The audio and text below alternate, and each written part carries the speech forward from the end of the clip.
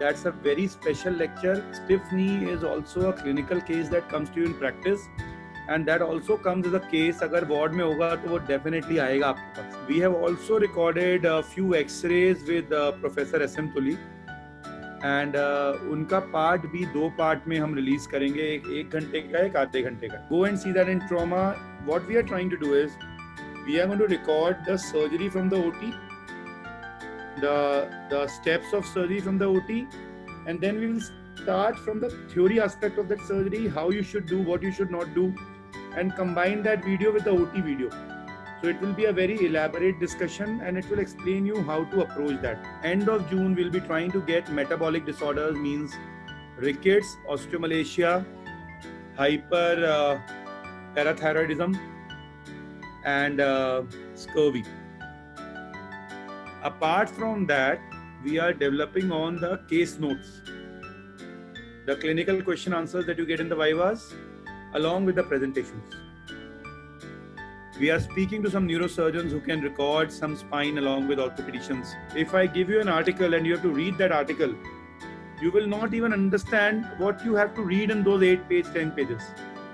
But we are going to take out the main points out of that and put it into two pages. So hamara aim hoga spine के पहले दो video hip के पहले दो video नी के पहले दो वीडियो हर एक सेक्शन के पहले दो तीन वीडियोस जिसमें क्लिनिकल एग्जामिनेशन के बारे में बताया गया है। एक और चीज़ करना बेटा मस्कुलो स्केलेटल इमेजिंग का एक सेक्शन है जो मैंने बनाया उसमें पाँच छह वीडियो डाले मैंने।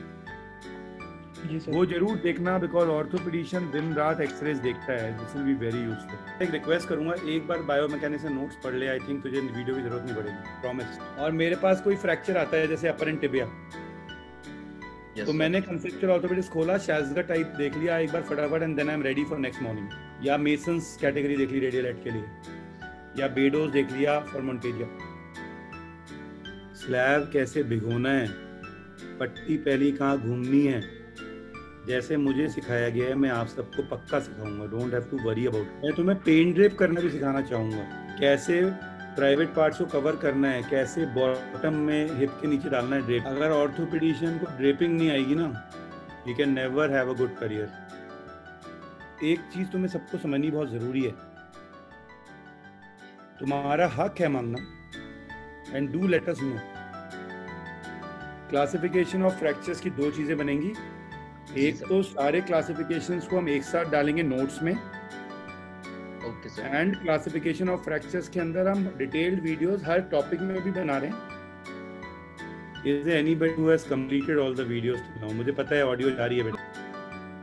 The best thing about education you are never at the top आपके आगे भी लोग होते हैं, आपके पीछे लोग there is one more person who has completed all the videos that is doctor S M Tuli I hope that uh, one day we are able to organize a class where all of you come to meet us. This lockdown uh, doesn't keep us too far.